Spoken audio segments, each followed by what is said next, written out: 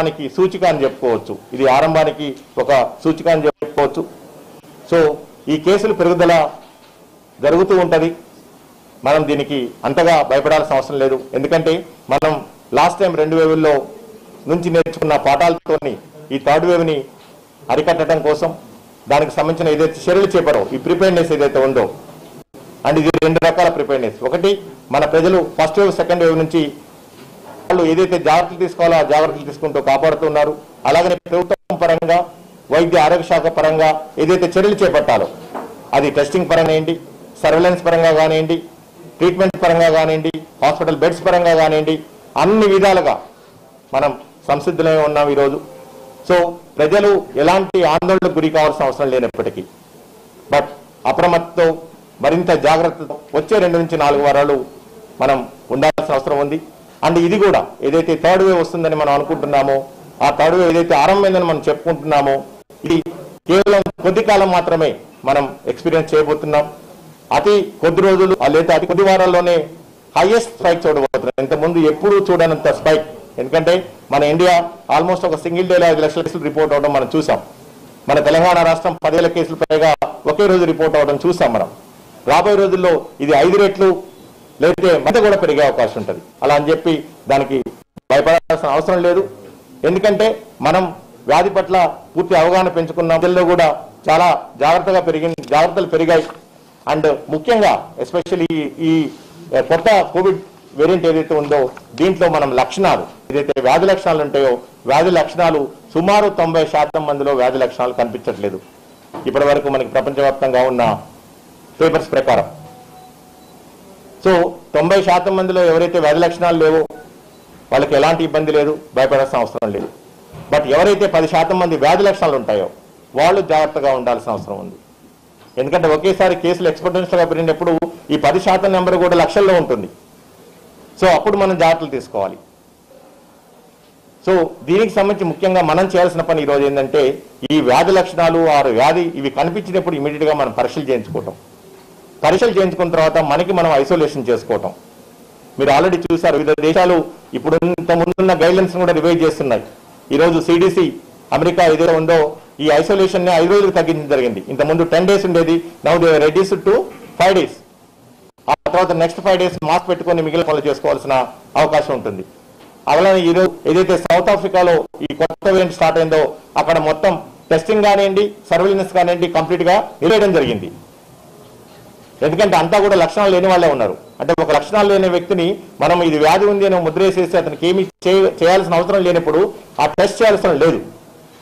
But ఇక్కడ ముఖ్యంగా మనకి ఈరోజు మన దేశంలో మన రాష్ట్రంలో ఈ కొత్త వేరియంట్ ఎదుర్కొ ఎదుర్కోవడానికి కోవిడ్ ఎదుర్కోవడానికి మూడో ఎదురు ఎదుర్కోవడానికి మన చేతిలో ఇంతకు ముందు లేని బలమైన ఆయుధాలు ఉన్నాయి ఇప్పుడు.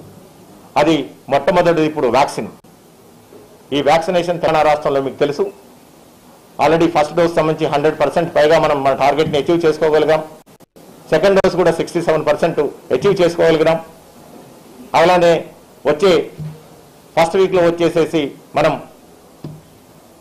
పన్నెండు సంవత్సరాల పైన పిల్లలకి వ్యాక్సిన్ ఇవ్వడం స్టార్ట్ చేసుకోబోతున్నాం. అలాగనే ఎవరైతే అరవై సంవత్సరాల పైబడిన వృద్ధులు మిగిలిన గ్రూప్స్ ఏదైతే ఉన్నాయో వాళ్ళకు కూడా ఒక ప్రికాషన్ డోస్ కింద కూడా వ్యాక్సిన్ ఇవ్వబోతున్నాం. సో ఈ విధంగా మనకి సరిపడా వ్యాక్సిన్ నిల్వలు ఉన్నాయి. ఇప్పటి వరకు దయచేసి ఎవరు వ్యాక్సిన్ తీసుకునే వాళ్ళు ఎవరైనా ఉంటే ఇంకా కూడా మేము అక్కడ వింటున్నాం.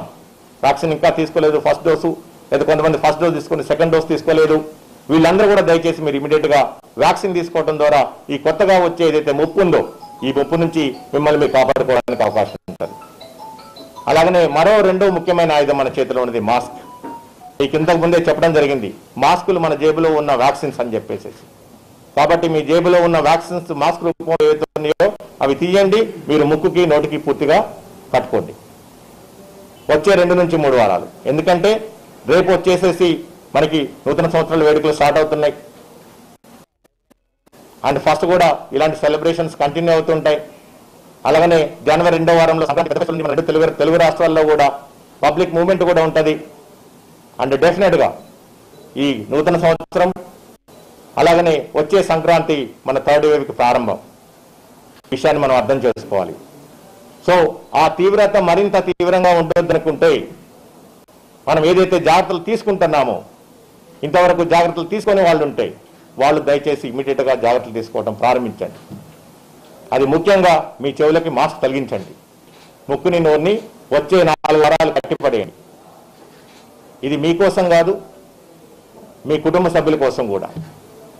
ఎందుకంటే ఈ వై- ఈ వేరియంట్ చాలా ఫాస్ట్గా స్ప్రెడ్ అవుతుంది ఇప్పుడు. అండ్ వన్ పర్సెంట్ హాస్పిటలైజేషన్స్ మనం తీసుకున్నా కానీ ఇది పెద్ద సంఖ్యలో ఉంటుంది. పెద్ద సంఖ్యలో మన బెడ్స్ కావాల్సిన అవసరం ఉంటుంది. సో ప్రభుత్వం దీనికి సంబంధించి అన్ని విధాలుగా ప్రిపేర్ అయి ఉన్నది. బట్ ప్రజలు కూడా రేపు ఈ స్వీయ నియంత్రణ స్వీయ జాగ్రత్తలనే కొత్త సంవత్సరం సందర్భంగా మీరు డెఫినెట్గా మీ కుటుంబ సభ్యులతో ఎంజాయ్ చేయండి. పార్టీలకి వెళ్ళండి. బట్ ఏదైతే జాగ్రత్తలు ఉన్నాయో ఆ జాగ్రత్తలు దయచేసి తీసుకోండి. మాక్సిమం ఈ కొత్త సంవత్సర వేడుకల్ని మీరు మీ కుటుంబ సభ్యుల మధ్యలో మరింత ఆనందంగా జరుపుకోవాలని కోరుకుంటున్నాం. ఎందుకంటే కొత్త సంవత్సరం దాటిన తర్వాత మళ్ళీ మీకు ఏదైనా లక్షణాలు కనిపించి పాజిటివ్ అయితే రేపు పొద్దున బాధపడాల్సిన అవసరం మీరు మీ కుటుంబ సభ్యులకు ఉంటుంది కాబట్టి. అలాగనే బయట ప్రాంతాలు అంటే హోటల్స్లో కానివ్వండి పబ్స్లో కానివ్వండి రెస్టారెంట్స్లో కానివ్వండి బహిరంగ ప్రదేశాల్లో ఎవరైతే ఇలాంటి ఉత్సవాలు జరుపుకుంటున్నారో మీరు దయచేసి ఎంత దూరం పాటించడానికి ప్రయత్నం చేయండి. అలాగనే మాస్క్ కూడా ధరించడానికి ప్రయత్నం చేయండి. లేకపోతే ఇబ్బందుల్లో పడాల్సిన అవసరం ఉంటుంది. సో ఇకపోతే దీన్ని ఎదుర్కోవటానికి తెలంగాణ రాష్ట్ర ప్రభుత్వం టెస్టుల సంఖ్య పెంచబోతున్నాం రాబోయే రోజుల్లో. బట్ ఇక్కడ మనం అర్థం చేసుకోవాల్సింది ఏంటంటే ఆల్రెడీ ఈ కొత్త వేరియంట్కి సంబంధించి తొంభై శాతం మందిలో ఎలాంటి లక్షణాలు లేవు. వీళ్ళు కేవలం ఈ వైరస్ని వ్యాప్తి చేస్తారు స్ప్రెడ్ చేస్తారు. అలా స్ప్రెడ్ చేయకుండా అంటే ఇంతకుముందు చెప్పినట్టు మాస్క్ ధరించడం. రెండు ఎవరైతే లక్షణాలు కనిపించాయో ఈ లక్షణాలు కూడా ఇప్పుడు సామాన్యమైన ఫ్లూ అంటే జలుబుకు ఉండే లక్షణాలు ఇప్పుడు మనం కనిపిస్తున్నాం. ఇంతకుముందు కూడా మనం చెప్పుకున్నాం ఈ కొత్త వైరస్ వచ్చేసేసి ఇట్స్ సెన్స్ ఆఫ్ ఫ్లూ అంటే కోల్డ్ అండ్ కోవిడ్ అంటే ఇంతకుముందున్న పాత లక్షణాలు కనిపిస్తున్నాయి అలానే కొత్తగా తీవ్రమైన జలుబు కానివ్వండి ఒళ్ళు నొప్పులు కానివ్వండి తలనొప్పి కానివ్వండి తీవ్రమైన నీరసం ఉండటం కానివ్వండి ఇవన్నీ లక్షణాలు కనిపిస్తూ ఉన్నాయి. సో దయచేసి చిన్న కొద్దిపాటి లక్షణాలు కనిపించినా మీరు అశ్రద్ధ చేయకండి. దగ్గరలో ఉన్న ప్రభుత్వ ఆరోగ్య కేంద్రానికి వెళ్ళండి పరీక్షలు చేయించుకోండి. అండ్ ఎవరైతే ఈ పది శాతం మందిలో లక్షణాలు కనిపిస్తున్నాయో వాళ్ళల్లో కూడా తొంభై తొమ్మిది తొంభై శాతం మందికి హాస్పిటలైజేషన్ అవసరం లేదు. ఇంట్లో మేము ఇచ్చే కిట్ ఏదైతే ఉందో హోమ్ ఐసోలేషన్ కిట్ ఏదైతే ఉందో ఆ కిట్ ఆ కిట్లో దీనికి కావాల్సిన సిమ్టమాటిక్ ట్రీట్మెంట్ అంటే లక్షణాలకు సంబంధించిన మందులన్నీ ఉన్నాయి. దయచేసి మీరు ఆ మందులు వాడండి. ఇంట్లోనే మీరు పూర్తిగా ట్రీట్మెంట్ తీసుకొని నయం చేసుకోవడానికి అవకాశం ఉంటుంది. ఎవరైతే point five percent or one percent hospitalize ఉందో వాళ్ళు మీరు మా ప్రభుత్వ హాస్పిటల్స్కి రండి ట్రీట్మెంట్ తీసుకోండి. బట్ ఇలాంటి పరిస్థితులు మీరు ఎవరు కూడా తెచ్చుకోవద్దని చెప్పేసి మేము రిక్వెస్ట్ చేస్తూ ఉన్నాం. ఆల్రెడీ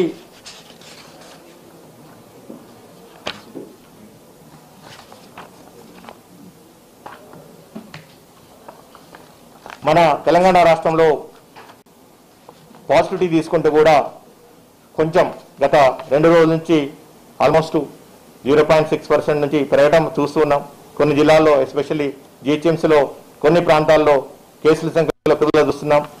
అండ్ దయచేసి ప్రజలు ఇది ఒమిక్రాన్ కేసుల డెల్టా కేసులు అనేది చూడకండి. ఎందుకంటే ముఖ్యంగా దీన్ని మీరు కోవిడ్ లాగానే చూడండి ఈ లక్షణాలు కనిపించినప్పుడు. అండ్ మళ్ళీ వెళ్ళేసేసి ఇది నాకు డెల్టా వేరియంట్ సోకిందా ఒమిక్రాన్ వేరియంట్ సోకిందా అనేది మీరు దయచేసి పరీక్షలు చేయించుకొని మీరు డబ్బులు వృధా చేసుకోవద్దు. అండ్ రెండోది చేసేసి ఎందుకు మేము చెప్తున్నామంటే ఈ డయాగ్నోస్టిక్ టూల్స్లో కానివ్వండి అంటే మీకు టెస్టులు చేసే విధానంలో కానివ్వండి ఎలాంటి వేరియంట్ అయినా సరే అలాగనే మీకు ఇచ్చే ట్రీట్మెంట్ పరంగా కానివ్వండి ఎలాంటి మార్పులు లేవు. అండ్ ఇంతకుముందు కంటే కూడా ఇప్పుడు మనకి అత్యంత ఎఫెక్టివ్ మెడిసిన్స్ కూడా ఈ రోజు మన అందుబాటులో ఉన్నాయి. అలాగనే ఏదైతే పబ్లిక్ హెల్త్ రెస్పాన్స్ ఉందో ప్రివెంటివ్ మెజర్స్ ఉన్నాయో ఆ ప్రివెంటివ్ మెజర్స్లో కూడా ఎలాంటి మార్పు లేదు. మీరు ఏ వేరియంట్ అయినా సరే మాస్క్ పెట్టుకోవాలి ఏ వేరియంట్ అయినా భౌతిక దూరం పాటించాలి ఏ వేరియంట్ అయినా కానీ చేతులు శుభ్రం చేసుకోవాలి. అన్ని వేరియంట్స్ కూడా ఇవే మనకి నాన్ ఫార్మకలాజికల్ ఇంటర్వెన్షన్స్. అండ్ మిగిలిన సంబంధించి ట్రీట్మెంట్ పరంగా డెఫినెట్గా గత రెండు సంవత్సరాల్లో చాలా కొత్త మెడిసిన్స్ రావడం జరిగింది. రావడం చూస్తూ ఉన్నాం. అండ్ కొత్త వ్యాక్సిన్స్ మనకి అందుబాటులో ఉన్నాయి. వచ్చే కొద్ది రోజుల్లో నాసల్ వ్యాక్సిన్ కూడా మన భారత బయటకు ద్వారా అందుబాటులో రాబోతుంది. అలాగనే మొన్లు ప్రివార్ మన మెడిసిన్ కూడా ఈ రోజు మనకి అందుబాటులో ఉంది. సో చాలా ఎఫెక్టివ్ మెడిసిన్స్ ఉన్నాయి. ఇవన్నీ కూడా మన అన్ని ప్రభుత్వ హాస్పిటల్స్లో ఈరోజు అందుబాటులో పెట్టడం జరిగింది. అండ్ ఆక్సిజన్ పరంగా కానివ్వండి అండ్ ఎస్పెషల్లీ దీంట్లో వ్యాధి లక్షణాలు తీవ్రంగా లేకపోవడం వల్ల ఎవరికి ఈ ఆక్సిజన్ రిలేటెడ్ కానివ్వండి లేకపోతే ఇంటెన్సివ్ కేర్ యూనిట్ కానివ్వండి ఇవన్నీ కూడా అవసరమయ్యే పరిస్థితులు చాలా చాలా తక్కువగా స్వల్పంగా ఉన్నాయి. ప్రపంచవ్యాప్తంగా కూడా ఇదే పరిస్థితి వస్తున్నాం. సో దయచేసి ఒకేసారి లక్షలాది కేసుల సంఖ్య కేసులు పెరిగినా సరే మీరు ఎవరూ ఎలాంటి భయాందోళనకు గురి కావాల్సిన అవసరం లేదు. ఎందుకంటే అన్నిటికంటే ఈ వైరస్ కంటే కూడా ప్రమాదకరమైనది ఏంటంటే భయం. మనకి వచ్చింది కోవిడ్. ఏమైపోతుంది? ఈ భయంతోనే మనం ఫస్ట్ వేవ్లో చాలామందిని చాలా మందిని మనం హాస్పిటలైజ్ చేసుకున్నాం చాలా మందిని కోల్పోయినాం. అండ్ థర్డ్ వేవ్ ఏదైతే ఈ కొత్త ఒమిక్రాన్ వేరియంట్ రూపంలో వచ్చిందో దీన్ని మనం ఒక బ్లెస్సింగ్ లాగా మనం తీసుకోవాలి. Blessing in disguise. ఎందుకంటే డెఫినెట్గా ఈ థర్డ్ వేవ్ మనందరినీ కూడా కోవిడ్ నుంచి ఈ కోవిడ్కి ఒక అంతం అని చెప్పుకోవచ్చు కోవిడ్కి ముగింపు పలుకుతుందని చెప్పుకోవచ్చు. ఒక పబ్లిక్ హెల్త్ స్పెసిస్ట్గా ఒక ఎపిడమాలజిస్ట్గా రాబోయే వచ్చే ఆరు నెలల్లో కోవిడ్ నుంచి మనకి దాదాపు పూర్తి విముక్తి దొరకబోతుంది. సో కాబట్టి మనం అందరం కూడా ప్రజలు ప్రభుత్వము అలాగనే ఎస్పెషల్లీ మీడియా మిత్రులు అందరూ కూడా మనం అందరం కలిసేసి సమర్థంగా థర్డ్ ఎదుర్కొందాం. ఏదైతే ఈ జాగ్రత్తలు ఏవైతున్నాయో మీరు కూడా ప్రజల్లో విస్తృతంగా ప్రచారం చేయండి. అండ్ వచ్చే రెండు నుంచి నాలుగు వారాలు. ఇది థర్డ్ వేవ్ పూర్తిగా స్పైక్ చూస్తాం. అలాగనే ఈవెన్ అది డౌన్ ఫాల్ కూడా మనం చూస్తాం. అత్యంత తక్కువ మినిమల్ డ్యామేజ్ తోని.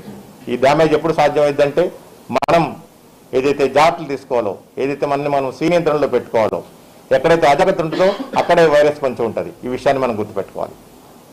అండ్ ఒమిక్రాన్ కేసులకు సంబంధించి అరవై రెండు కేసులు మన తెలంగాణ రాష్ట్రంలో రిపోర్ట్ అయినాయి. ఇంతకుముందే మా హానరబుల్ గవర్నర్ మంత్రివర్యులు కూడా మొన్న చెప్పడం జరిగింది. కేవలం మూడు కేసులు ఇప్పటి వరకు మనకి రిపోర్ట్ అవ్వడం జరిగింది.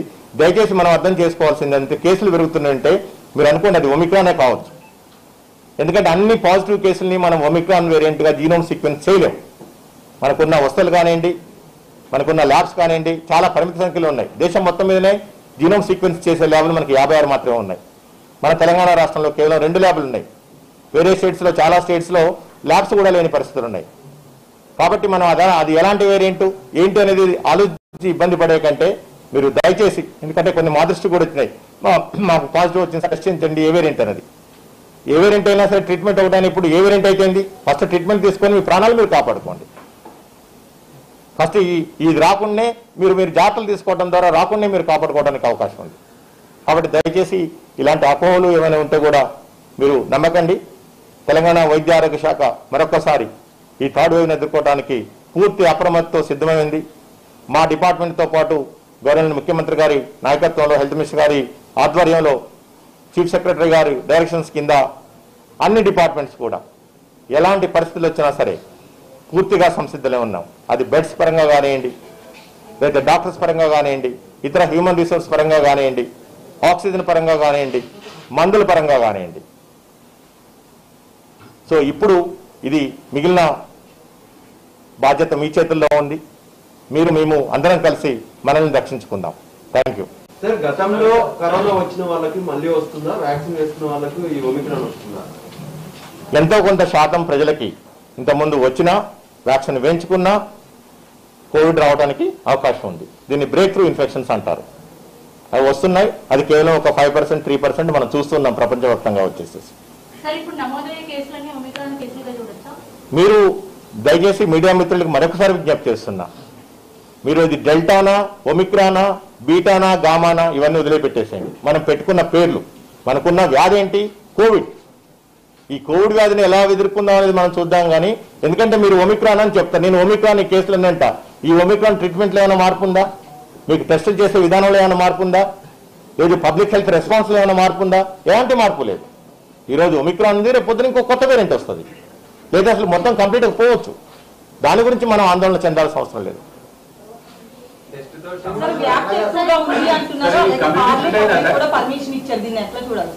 అమ్మా గత రెండు సంవత్సరాల నుంచి కూడా మనల్ని మనం కట్టేసుకున్నాం చాలా వరకు చాలా సందర్భాల్లో. దయచేసి అలాంటి పరిస్థితులు లేవు.